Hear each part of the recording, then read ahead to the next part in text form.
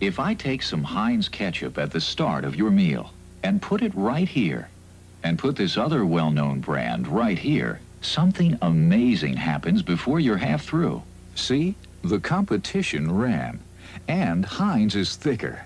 Here's where the thickness pays off. Taste. Because on a hamburger or anything else, Heinz is the best tasting ketchup. So pour on the Heinz, America's thickest, best tasting ketchup.